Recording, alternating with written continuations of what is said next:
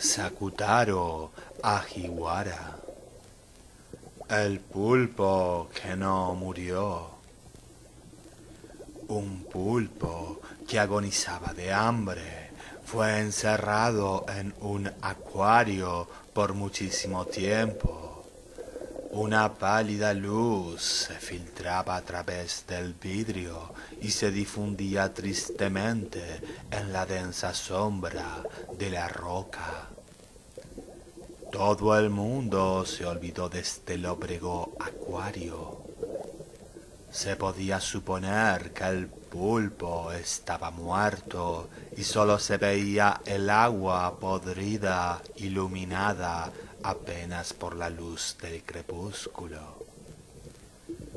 Pero el pulpo no había muerto, permanecía escondido detrás de la roca y cuando despertó de su sueño tuvo que sufrir un hambre terrible. Día tras día en esa prisión solitaria, pues no había carnada alguna ni comida para él. Entonces comenzó a comerse sus propios tentáculos. Primero uno, después otro. Cuando ya no tenía tentáculos, comenzó a devorar poco a poco sus entrañas, una parte tras otra.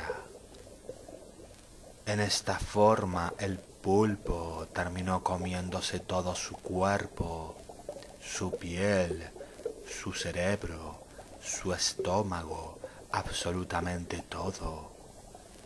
Una mañana llegó un cuidador Miró dentro del acuario y solo vio el agua sombría y las algas ondulantes.